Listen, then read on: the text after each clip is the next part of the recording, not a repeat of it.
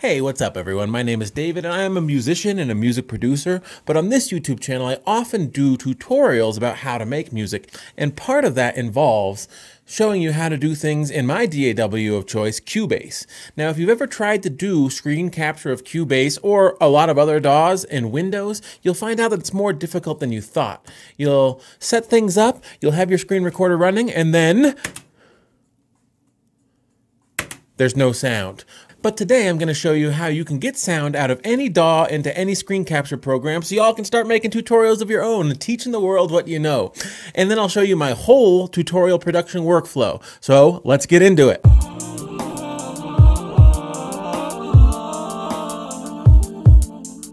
So the reason why uh, most screen recorders won't record sound out of Cubase is because Cubase is has exclusive control over your driver. I'm using a Focusrite interface. And so if we play this groove agent,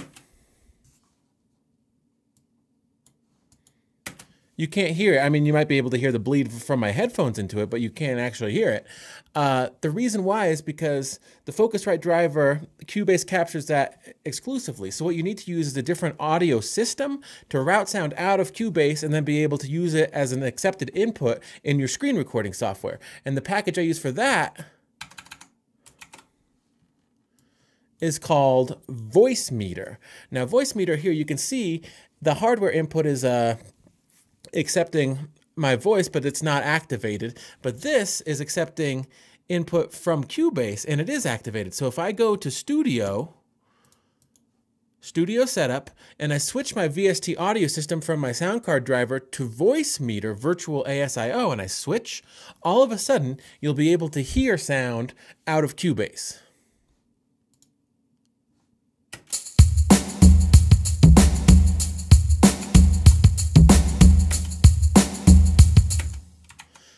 And so Voicemeeter makes this possible by sending the sound from a virtual input, routing it out into your screen recorder, which your interface can't actually do by itself. So this software package is great. Now my old workflow, and I've just changed, and I, that's why I'm making a video because I'm talking about my new workflow, but I'll tell you my old workflow and show you why I changed.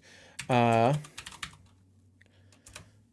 I used to use this. It was a Cyberlink screen recorder, and it came with my old video editing package called Power Director. I'm a Adobe Premiere Pro editor now, but what I would do was my setup would be the Voicemeeter output would be the input device.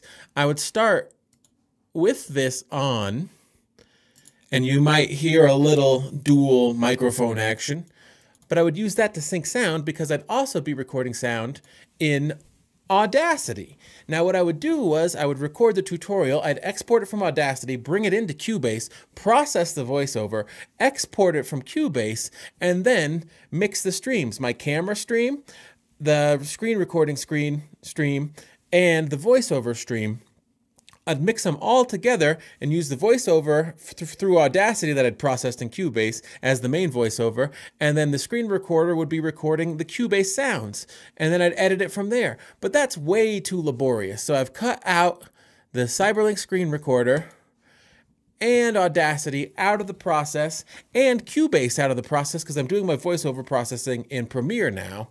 Uh, because Premiere supports VST plugins, and I'm doing my screen recorder with a package called OBS, the Online Broadcaster Studio. It's free uh, and open source. It's at obsproject.com, I believe. You'll have to you'll have to Google it. I don't actually have. I'll leave a link in the description. I don't know. But what I have here is I have an audio setup.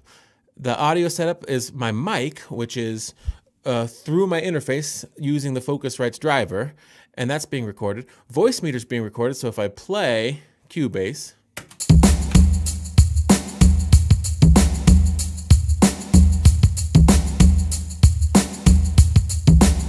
And you can see that my mic up here is independent of this Voicemeeter. But what I like most about OBS is that in the settings here, for output recording, you can have multiple tracks assigned. So you see here audio track one and two. So what I do is I put my voiceover on track one and I put the Voicemeeter output or the Cubase output on track two. And then when I pull it in Premiere after the fact to edit it all together, here's the intro. Here's the screen recording. And here is my face cam, as the kids say. Now I just highlight all these and I synchronize by audio. The synchronization happens immediately. Then I have both of these tracks independently to work with. And I actually record just in mono, or it's in stereo, but on one side, and then I use audio channels here in Premiere to move both of them to the left side. And then what I'll do is, and I often I'll normalize this to like negative one or something, and then I'll apply a preset uh, of Waves plugins to my voiceover that are similar to the voiceover preset that I showed you in Cubase. Do tutorials about how to make music, and one of those, and here's the intro. Uh, and part of that involves showing you how to do things. In so with just minimal amount of processing, I have a workable voiceover track, and I have here workable Cubase audio.